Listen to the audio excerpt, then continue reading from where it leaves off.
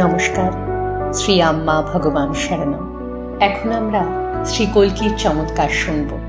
আমি কলকাতা থেকে প্রিয়া তালবানি বলছি। কিছুদিন আগে ডেঙ্গু জ্বরে আক্রান্ত হয়ে আমার হাসপাতালে ভর্তি হওয়ার মতো পরিস্থিতি হয়।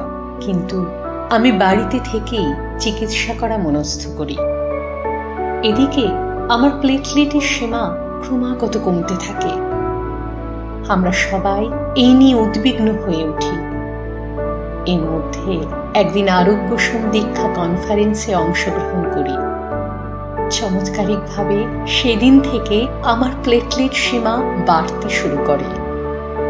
আমি এখন শ্রী পরমজ্যোতি কলকি আম্মা ভগবানের দৈব কৃপায় সুস্থ হয়ে উঠেছি।